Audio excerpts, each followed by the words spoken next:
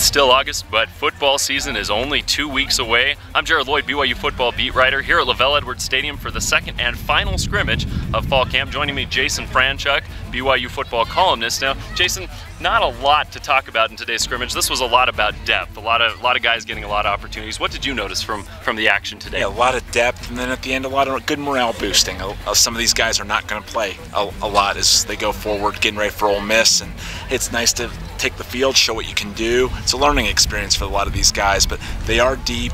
And this, my eighth year covering the team, obviously seventh with Bronco, and this is the quickest he sped up things as far as eliminating a scrimmage late in fall camp, getting ready for the first opponent a little bit earlier. He really likes this team and where they're headed right now.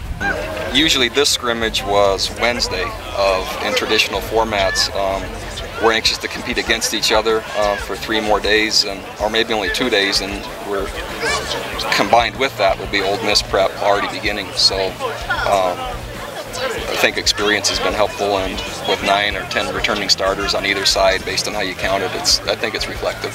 So we were able to get to the depth of the scrimmages earlier. How much of that, Jason, do you credit to some of the coaches he's brought in and how comfortable he is with the job they're doing? I think it's coaches. I, I, think there's a very good rapport here. I think he made the right decisions. I was actually critical when the hires were first made from the aspect of they've prided themselves on having some non-LDS coaches or minority coaches, and they basically have eliminated that. I mean, they brought in guys who are familiar with Utah, familiar with the program, and for this program that wants to have a broader scope of a recruiting base, it, it's interesting to me that they haven't had that. But you can tell Bronco talked in July at the National Media Day about good fits, guys who had the best interests of the program, and the kids Hardy feels like he's got that. You can see the rapport with the young guys like Joe DuPaix, that they're real tight. Mark Weber's still here, and his offensive linemen get along with him great. They were teasing each other, you know, as they usually do, as they were warming up. And Brandon Doman has infused such energy, and you've seen Brandon. Anybody who's seen Brandon knows that he, he's just full of full of spit and vinegar, so to speak, and not in an angry way. Just likes to really move around, and he's a guy players on both sides of the ball really respond to it. I, I think uh, Coach Doman's done a, great job with the offense. It, as a whole, it hasn't changed a whole lot. I think just how we're going about things has, changed a little bit, just our attitude and just kind of uh, what we're trying to do. And and, and I, I think. Uh, I think they've done a great job, all the coaches. And, uh, you know, it's a great offense to play in, and I'm real excited about it. Reminded me a lot of when Bronco Mendenhall first got here from New Mexico as the defensive coordinator, and even offensive guys really responded to his style of effort and play and practice.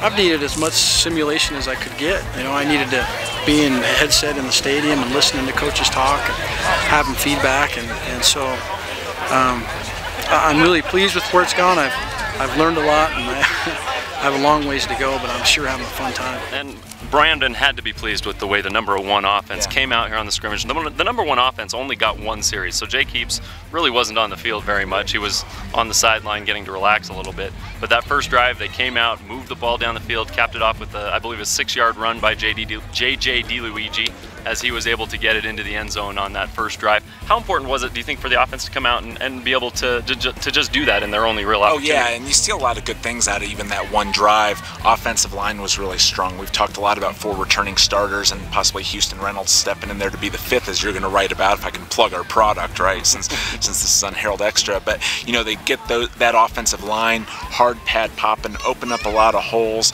Uh, Jake Heaps was able to find some passes over the middle of the field, which is what they've struggled with in the past. Sure-handed plays, get the ball down, positive yardage. You know the offensive line isn't going to make mistakes for you. I mean, they're not going to be first and 15, first and 20 very often. Just a lot of good things about that that group right now. And I think the other thing when you ask me about you know, what do you give the credit to coaches? I think these guys are better conditioned, and, they say that every year. Training regimens change, diet habits change, especially for a guy like Jake Heaps, freshman and sophomore, but they are in better, better shape right now. I, I felt really pleased with, with, what the offense did. I think, uh, you know, uh, you know, first group in particular, we you know had a great drive. You know, uh, put it down the field wherever we needed to needed to go, converted on third downs. Uh, you know, really just ran the ball well and, and complemented with, you know, play action and short pass game. They're in really good shape. They look really good. In fact, Bronco Mendenhall thinks they look so good. He's moving up game prep for Ole Miss, which is only two weeks away, so he's going to start that a little bit earlier, he said. So big is that big for this team to be in that be at that point where they can can start that game prep? I, I think so. I, I, think it's good for morale, and the reason that is Broncos 56 and 21 here. He's got a good rep.